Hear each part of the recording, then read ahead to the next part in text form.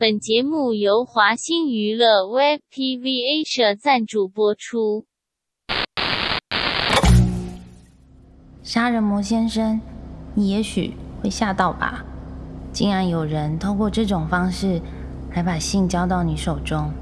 你犯下的案子已有十七起之多，受害者接受到严重刀伤致死，而且无名指都被割下带走。专家们都猜你是一个结不了婚、嫉妒别人能戴上结婚戒指的疯子。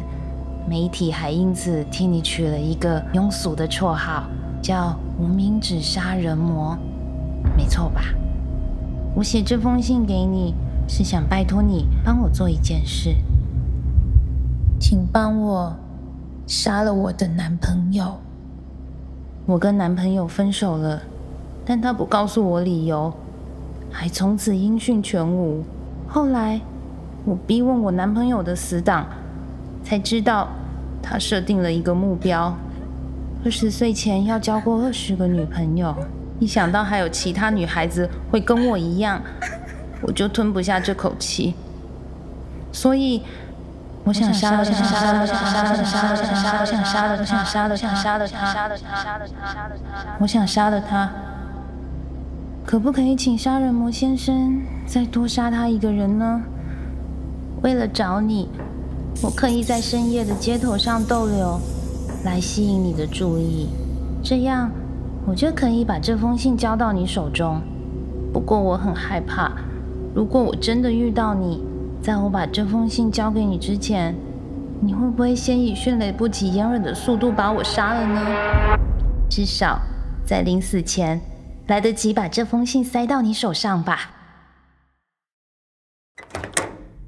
哎，他死了。我知道，我有看新闻。会不会是因为他跟你分手后心情不好，半夜跑出去？干我屁事！都已经分手了。至少你也给他一个理由，不然每个跟你分手的女生都疯狂找你，你却一直躲他们。真的怪我吗？谁叫他们看到我的外表就答应要跟我交往？然后分手后一直靠背，说要给个理由，没什么理由。我当初主动跟他们交往，也可以主动把他们甩掉。真搞不懂你，二十岁前要交超过二十个女朋友，这种无聊的目标。像这种要长相没长相，要钱没钱的宅男，当然不会懂啊。我听得出来，他已经不把我当朋友看了。像伟宏这种凭着外表把女生玩弄于股掌上，借此产生优越感。认为身边所有的人都笨蛋，他以为一切仍在他的掌控中。哎，你去帮我买包烟。哦，对了，这东西我不知道该不该先让你看过。什么东西？